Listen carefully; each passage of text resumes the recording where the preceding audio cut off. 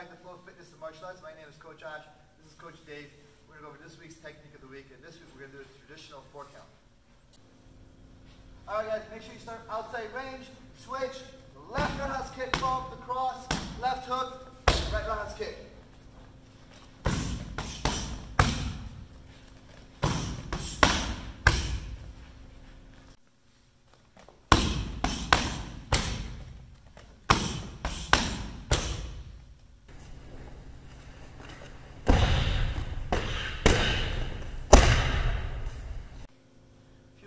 Remember, guys. Make sure you're pivoting your roundhouse kicks, and make sure you're fluid your strikes because one sets up the next one.